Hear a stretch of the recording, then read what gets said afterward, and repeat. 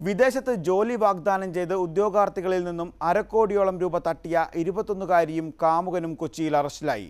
തൃശൂർ കുന്നംകുളം സ്വദേശിയായ കൃഷ്ണേന്ദുവും കാമുകൻ പുതുക്കാട് സ്വദേശി ജിൻസനുമാണ് പാലാരിവട്ടം പോലീസിന്റെ പിടിയിലായത്. ഷാർജയിൽ പുതുതായി തുടങ്ങുന്ന വസ്ത്രവ്യാപാര സ്ഥാപനത്തിൽ ജോലി നൽകാമെന്ന് പറഞ്ഞായിരുന്നു തട്ടിപ്പ്.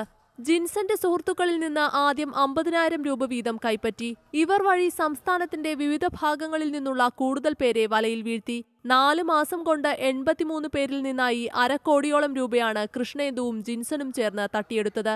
വിസ ലഭിക്കാതെ വന്നതോടെ ഉദ്യോഗാർത്ഥികൾ നടത്തിയ അന്വേഷണത്തിലാണ് തട്ടിപ്പ് പുറത്തായത്. ജിൻസൺ എന്ന് പറഞ്ഞ ആളാണ് ഞങ്ങളെല്ലാവരും റിക്രൂട്ട് ചെയ്തത്.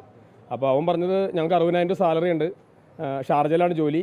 അത് കഴിഞ്ഞ് ഇവർ ഈ ആഡ് ചെയ്തവർക്ക് മെസ്സേജ് അയക്കും. ഇനി ഇനിയും ആൾക്ക് ചാൻസ് ഉണ്ടെന്നും പറഞ്ഞു. അപ്പോൾ അങ്ങനെ ഇതൊരു ചെയിൻ പോലെ ശരിക്കും നമ്മൾ മണി ചെയിൻ പോലെ തന്നെ ഇത് ലിങ്ക് കുറേ സ്പ്രെഡായി പോയി കുറെ ആൾക്കാരിലേക്ക്. ഇവർക്ക് പിന്നിൽ വൻ സംഘം തന്നെയുണ്ടെന്നാണ് തട്ടിപ്പിനിരയായവർ ആരോപിക്കുന്നത്. പ്ലസ് ടു കഴിഞ്ഞ് ഫാഷൻ ഡിസൈനിംഗ് പഠിച്ച കൃഷ്ണേന്ദു ബംഗളൂരുവിൽ ജോലി ചെയ്യുകയാണ്.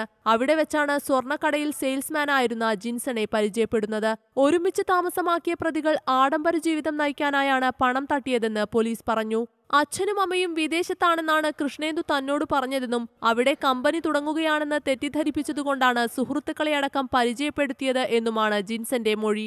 ഇത് ശരിയാണോ എന്നും ഇവർക്ക് പിന്നിൽ മറ്റാരെങ്കിലും ഉണ്ടോ എന്നും അന്വേഷിച്ചു വരികയാണെന്ന് പോലീസ് അറിയിച്ചു.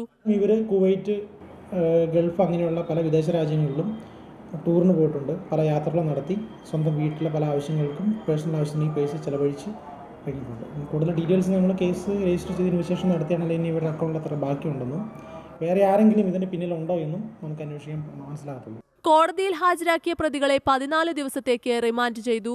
ഏഷ്യാനെറ്റ് ന്യൂസ് കൊച്ചി.